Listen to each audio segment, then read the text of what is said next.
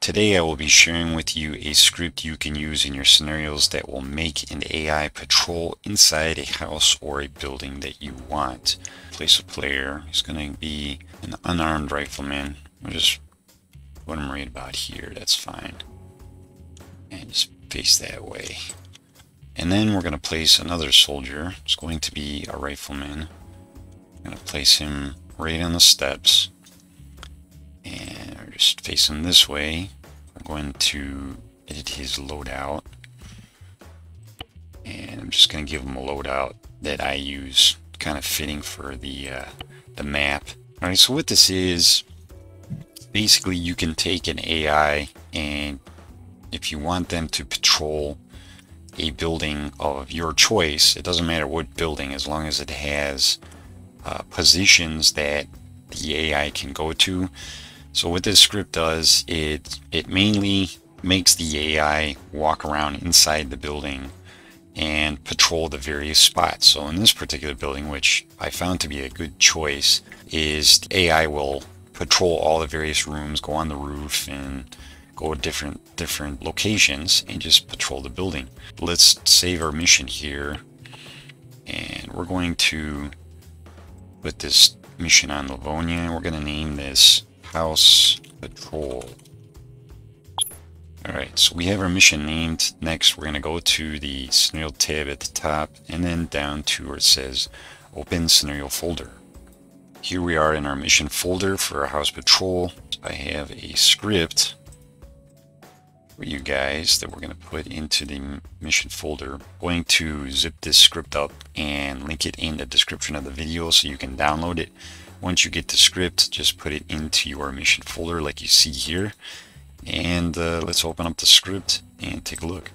So this script is called Random House Patrol Script, and it was created by Tophe of Östgöta Ops. As I said, this script basically makes the AI patrol randomly inside a house. Now this has optional parameters too, but this is the basic code that you would use to put into the soldier or the AI's INIT box. And I'll show you that in a minute. So you have different optional settings and there's codes for it. This is the basic uh, setup of the, the code of what's below. So you have your mode, which is the behavior.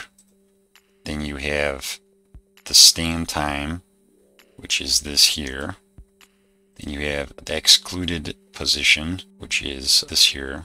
Then you have the starting position, and then you have debug, which is the last one. We're going to start with the debug code, which is here. We're just going to copy that. Just Control C. Now, just to notice before we get into the game here, this is the a stand time. The stand time is basically the soldier will walk to a certain point and stand there. And the five stands for seconds. So he's going to stand there for five seconds, look around, and then basically move on to the next position, whatever that's going to be. By default, it's set to 30, so 30 seconds he's going to stand there. I kind of find that to be a long time, so I changed this to 5 seconds. So what this code is going to do is this is the debug code test to see what what positions that your soldier or AI are going to possibly walk to. And it'll put a kind of a 3D marker in those positions and you'll see them so it'll give you an idea. Alright let's go back into the mission and paste the code. Alright back in the mission. Let's go to our soldier here and edit him. Let's go to the INIT box. Press ctrl V.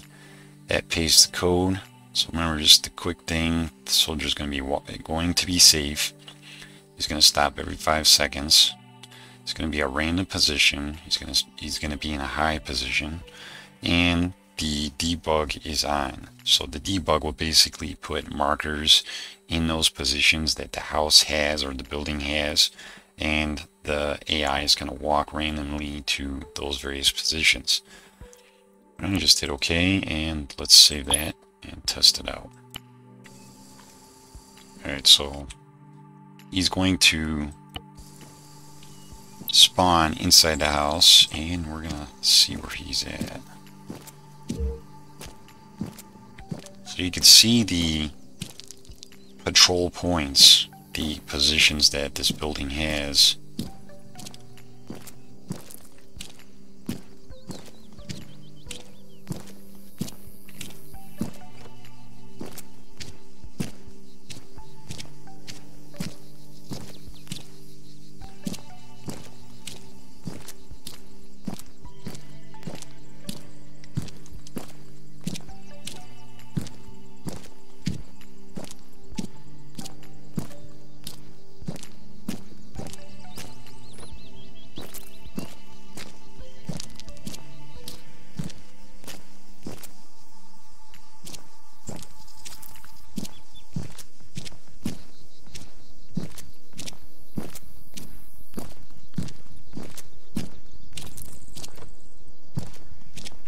Don't like the idea that they uh, walk through the doors like that. I wish there was more realistic where they actually reached out with an animation to you know, open, actually open the door, turn the knob or the handle.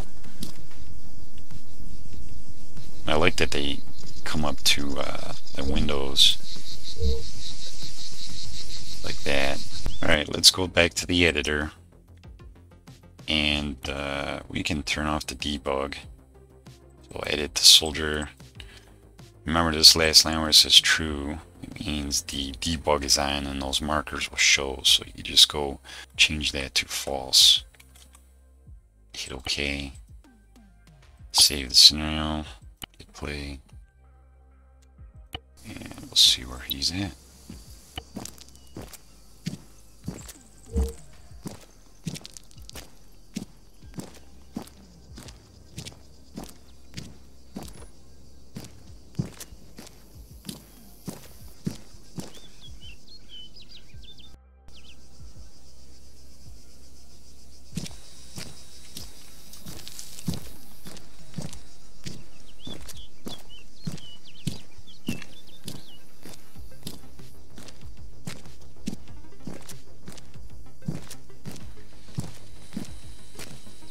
This would be cool for like a, a scenario where you have to kind of infiltrate a base or something and try to get into a building kind of like this and uh, you know either complete a task by destroying something or stealing something or downloading some data or killing someone.